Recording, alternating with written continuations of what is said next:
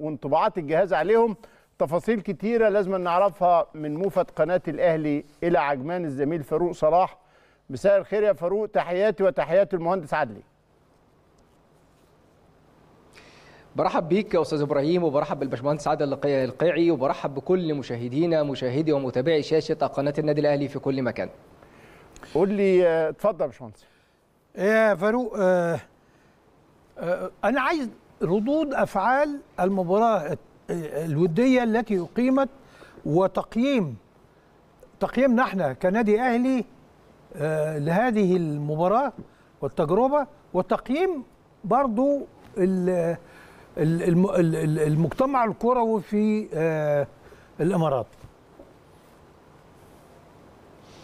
يعني خليني يا باشمهندس اخد من يعني لنهاية كلام حضرتك تقييم المجتمع الاماراتي أو الاوساط الاماراتية هنا. مش هقول للتجربة الودية قد ما نتكلم على النادي الاهلي. يعني يعني تصادف وجود معسكر النادي الاهلي مع تسلم النادي الاهلي لجائزة افضل نادي في الشرق الاوسط جائزة جلوب سكر.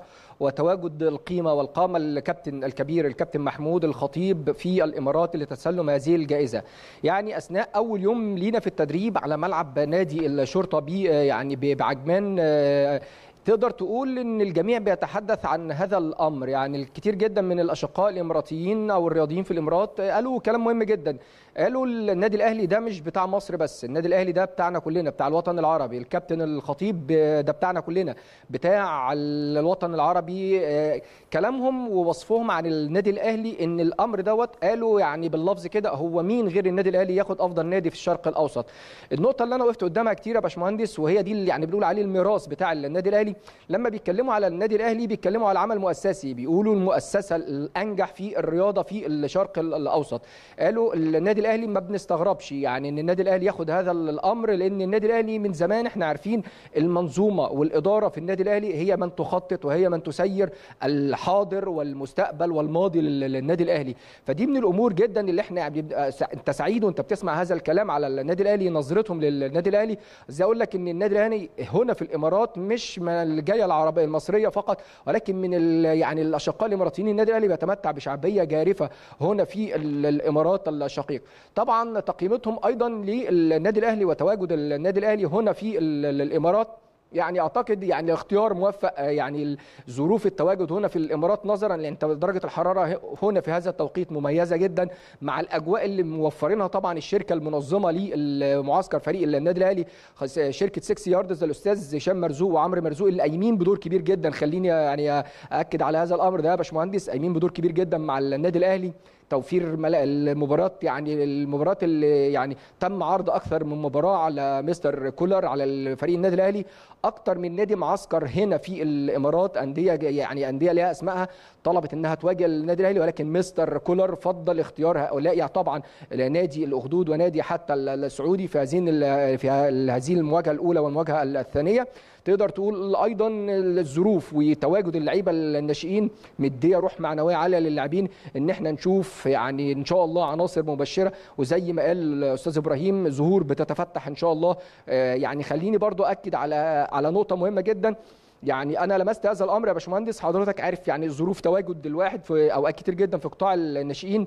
إني عايز أكد على نقطة يا باشمهندس إن اختيار اللعيبة الناشئين للمعسكر ما كانش أمر وليد الصدفة. يعني هرجع بس بحضرتك كده قبل المعسكر كان مستر كارلوس يعني المكتشف المواهب ومطور الأداء في النادي الأهلي بيتواجد بصفة مستمرة في قطاع الناشئين في النادي الأهلي بيجمع بعض يعني اللعيبة يعني بيتابع بنفسه كارلوس بيتفرج. لحظة. مستر كارلوس هو وراء هذا الاختيار. يعني الأسماء التي تم اختيارها آه، ده بترشيح أو صاحب الكلمة ال- الأكثر تاثيرا كان مستر كارلوس.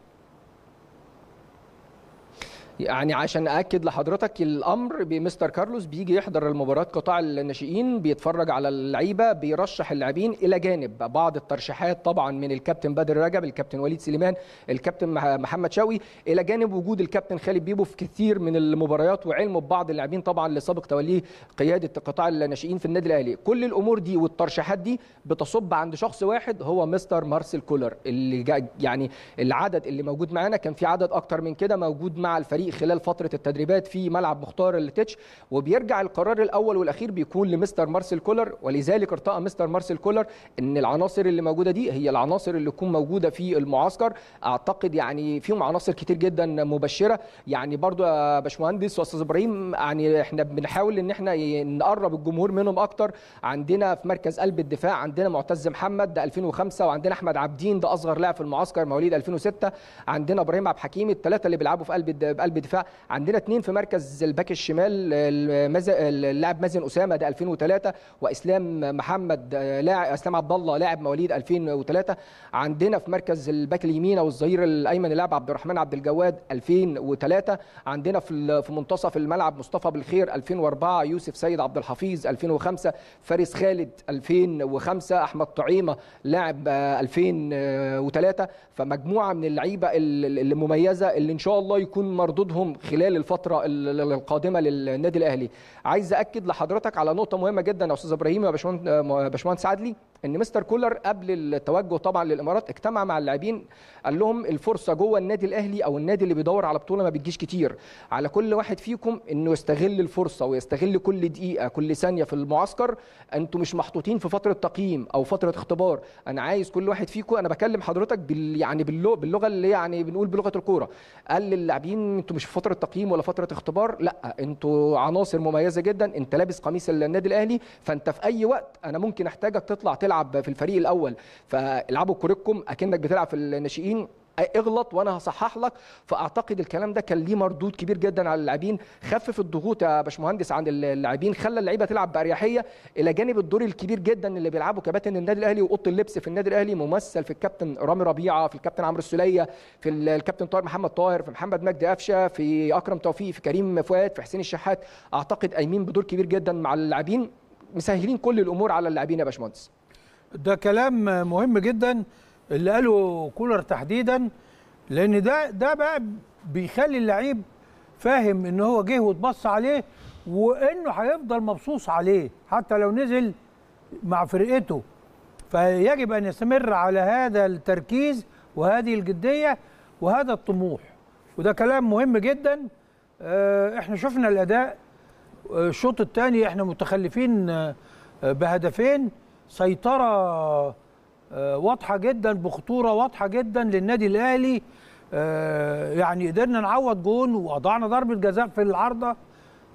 يعني الأهلي كان جديرا أن يفوز في هذه المباراة ولكن مش ده المهم. إحنا عارفين كلنا إن المعسكرات الإعداد زي ما إحنا بنتكلم مطلوب إن إحنا يعني نجهز اللعيبة وندور إذا كان في دعم من قطاع الناشئين. طيب فاروق تقدر تقول لنا وصف لليوم الكامل في المعسكر عندك ماشي إزاي؟ يعني خلي خليني برضه أقول لحضرتك يا أستاذ إبراهيم وصف اليوم أنت يعني اللعيبة بتتناول وجبة الإفطار في تمام الساعة العاشرة. بيبقى هناك يعني طبعا بعض الجلسات ما بين اللاعبين بعض تناول وجبه الإفطار. ثم بتكون وجبة الغداء في تمام الساعة الواحدة. بتكون بعد كده محاضرة المستر كولر قبل التوجه. بتكون في تمام الساعة الثانية والنصف.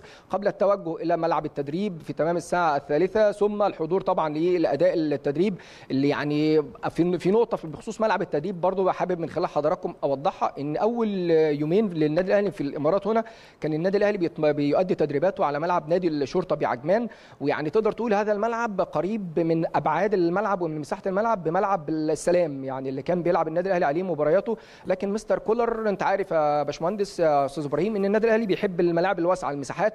فمستر كولر يعني فضل إن هو يكون في مساحة ملعب أكبر. وهنا نقطة مهمة جدا تاكيدا لكلامك يا باشمهندس إن هو شايف العناصر دي عناصر مميزة أو شايف إن فيها المستقبل. هو قال مستر كولر حب يغير الملعب علشان عايز اللعيبة الناشئين تتعود على أسلوب اللعب في المساحات الكبيرة جدا. فتم تغيير الملعب على إلى ملعب نادي الحمرية. والملعب ده يعني تقدر تقول الملعب قريب جدا من مساحته من الاستاد القاهرة الدولي. لقى استحسان مستر كولر الأرض الملعب الأمور اللي في الملعب وده الملعب اللي خلاص استمر عليه الفريق في أداء تدريباته. طبعا ارجع تاني يا أستاذ إبراهيم إلى إن التدريب بينطلق الساعة 3:30 بتخلص تدريبك تدريبك على الساعة 5 بترجع هنا مقر إقامة الفريق إلى في تمام الساعة الخامسة والنصف. بيكون طبعا في بعض يعني الأمور الاستشفائية من اللاعبين بعد بعد أداء التدريبات. ثم بيكون وجبة العشاء في تمام الساعة السابعة والنصف. ثم بيكون بقى يعني فترات جلوس لو اللعيبة بتتابع أو الجهاز الفني بيتابع مباريات الكأس الأمم الأفريقية بيبقى في متابعة. لو الوقت المباراة طبعا متأخر اللي هي المباراة بتبقى الساعة 10 بتوقيت القاهرة بتبقى الثانية 10 بتوقيت الإمارات بيكون اللعيبة بتتفرج بتشاهد المباراة في الغرف اللاعبين. يعني في الوقت اللي أنا بكلم حضرتك دلوقتي هدوء تام يعني سكون تام. يعني حضرتك دلوقتي يعني بنتكلم في إن الساعة في القاهرة أعتقد 10 و10 ونص. هنا في الإمارات 12 ونص هدوء تام. خلاص المنتجع أيضا اللي موجود فيه الفريق بيتم اختياره آه اختيار مميز جدا. المكان نفسه يعني بيوفر الهدوء. زي ما حضرتك عارف يا باشمهندس إن دي من الأمور المهمة جدا اللي النادي الأهلي بيركز عليها في المعسكرات توافر يعني الهدوء توافر كل الأمور اللي أنت بتحتاجها سواء في الجانب الطبي في الجانب التأهيلي في الجانب البدني أعتقد كلها متوفرة في هذا المكان. طيب فاروق يمكن ده المعسكر الأول لوسام أبو علي الفلسطيني. أنت شايفه إزاي ومدى انسجامه والجهاز الفني شغال معاه إزاي خاصة إنه ده معسكر مهم لتأهيله بدنيا؟ أستاذ إبراهيم يعني لو لو هتسمح لي إن يعني أقول النقطة ديت إن اللي يشوفه سام أبو علي إحنا مش بنبالغ. يعني من خلال حضرتك من خلال الباشمهندس بجد فعلا مش بنبالغ. لو قلنا إن وسام أبو علي ما تحسش إن لاعب لسه ده أول معسكر ليه مع النادي الأهلي.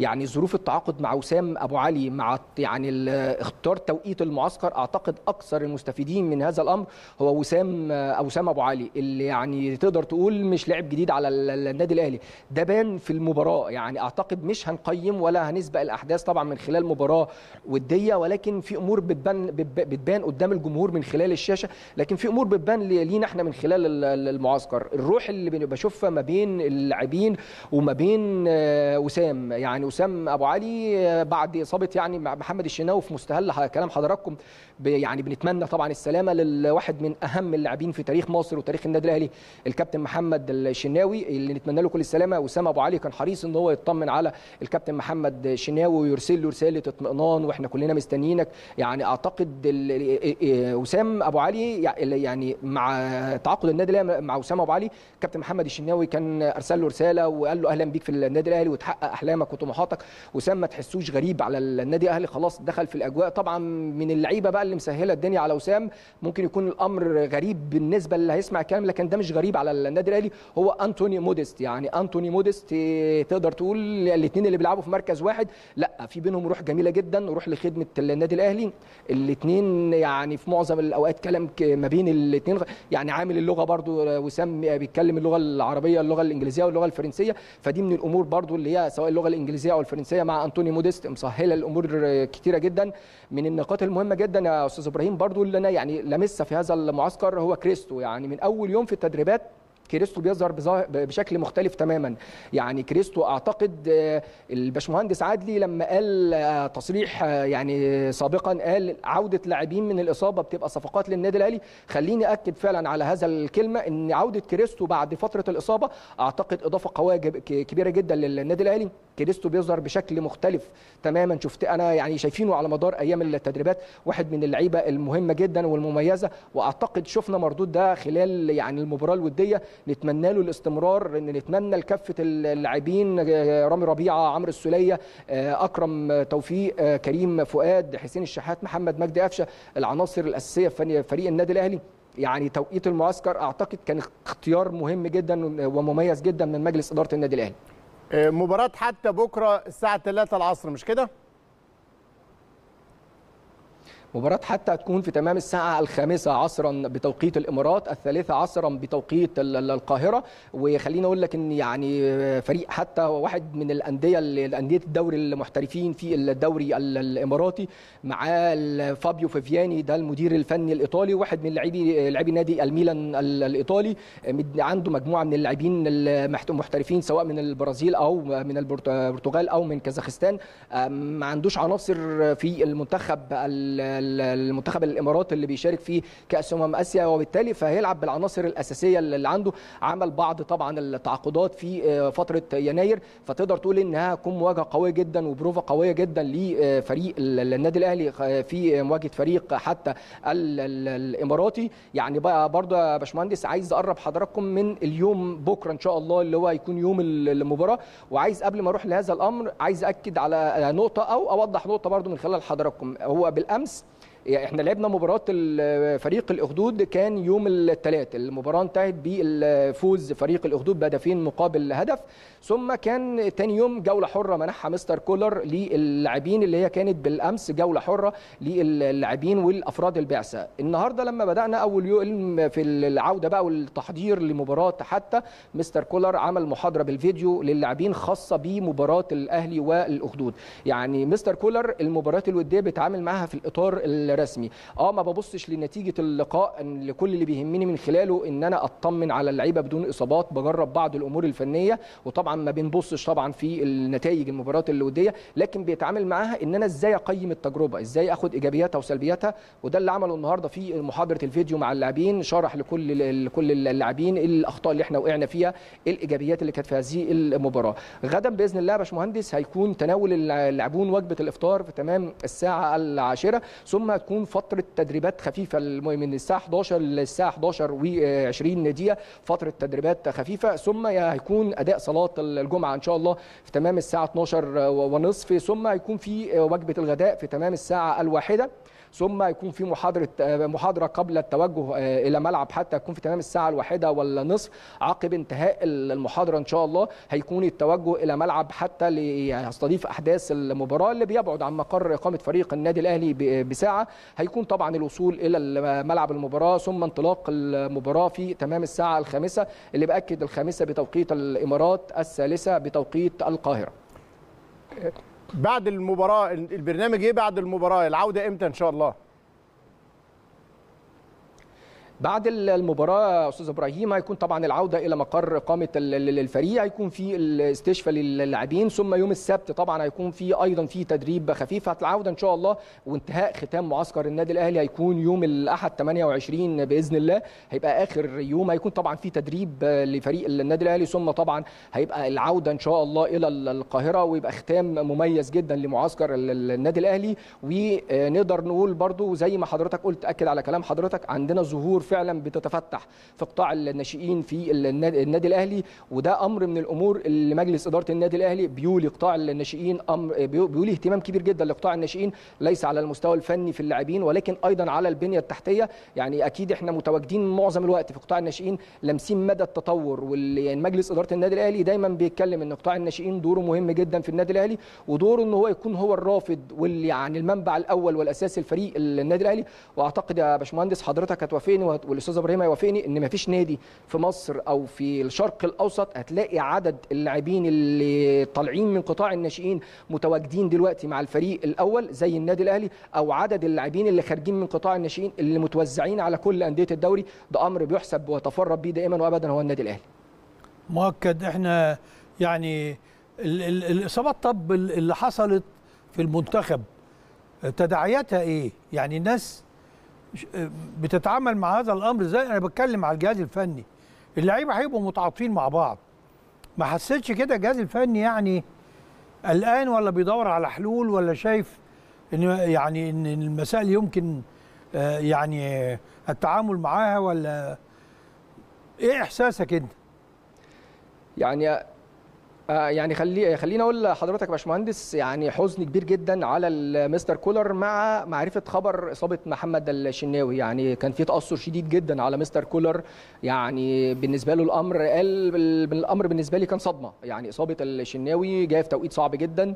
وميشيل يانكون اتكلم مع مشيل قال لك الإصابة دي حصل يعني في حاجة يعني هو يعني مستغرب قال شناوي المرة اللي فاتت مع المنتخب في أمم أفريقيا برده كان تعرض لإصابة فكان في يعني صدمة كبيرة جدا للجهاز الفني مع إصابة محمد الشناوي إنك تفقد حارس بقيمة محمد الشناوي. أعتقد تأثيره يبقى صعب جدا لكن عندنا ثقة في كل اللاعبين. مستر كولر واحد خلاص بقى من المدربين اللي بيتعامل مع كل الأمور بواقعية. خلاص أنت بقيت قدام أمر واقع. عندك حارس مرمى مصطفى شوبير يكون مستقبل للنادي الأهلي ومستقبل لمصر. عندك حمزة علاء اللي خليني أقول لحضرتك برضو يعني حمزة علاء آه، متواجد حاليا في الإمارات مع المنتخب الأولمبي اللي معسكر هنا في الإمارات والجهاز الفني للنادي الأهلي والكابتن خالد بيبو بيطمن على لاعبي النادي الأهلي سواء كريم الدبيس اللي موجود مع المنتخب الأولمبي هنا في الإمارات وحمزة علاء بتواصل من ميشيل يانكون معاه بيطمن عليه وبيطمن على الأمور الخاصة بيه في المنتخب. فأعتقد إن في ثقة موضوعة في لاعبي النادي الاهلي مصطفى شوبير حمزة علاء مصطفى مخلوف حازم حازم جمال. لكن الأمر كان بالنسبة لمستر كولر يعني الأمر كان صادم يعني إصابة ال- الشناوي. آه، يعني واضح مدى الحزن الكبير جدا كان على اللاعبين لاعبي النادي الأهلي اللي كلهم يعني سارعوا إن هم يتواصلوا مع محمد الشناوي ويطمنوا عليه. يعني خليني أكد على أمر مهم جدا يا باشمهندس. هي الأمر مش إحنا مش بنجمل الصورة لكن خليني أكد لك فعلا محمد الشناوي بيتمتع بحب كبير جدا من اللعيبة الكبار من اللعيبة الصغير- الصغيرين أو اللعيبة الناشئين. مش عايز أقول يعني معذرة اعذروني على كلمة صغيرين. لا اللعيبة الناشئين. لكن هي حب آه، قيمة محمد الشناوي قائد للنادي الأهلي وكابتن لمنتخب مصر واحد من اللعيبة اللي بيتمتع بحب في أوضة اللبس آه، مع اللعيبة مع الجهاز الفني ودور مهم جدا. فيعني تقدر تقول تأثر على اللاعبين على الجهاز الفني. أيضا مع إصابة محمد آه، إمام عاشور اللي يعني الأمر كان مستر كولر مش يعني قال مش مستحمل. يعني الأمر إمام عاشور واحد من اللعيبة ومن العناصر المهمة للمنتخب وللنادي الأهلي لكن إن شاء الله يرجع إمام عاشور وتطمنا عليه ويكون واحد من اللعيبة اللي إن شاء الله تكون مؤثرة مع المنتخب المصري في مشواره وأيضا مع النادي الأهلي. دكتور أحمد جاب الله تقدر تقول على طول يعني 24 ساعة بيتواصل مع الشناوي بيطمن عليه بيتابع كافة التفاصيل بيتابع مع الدكتور محمد أبو العيلة طبيب المنتخب المصري كافة الأمور الخاصة بإمام عاشور.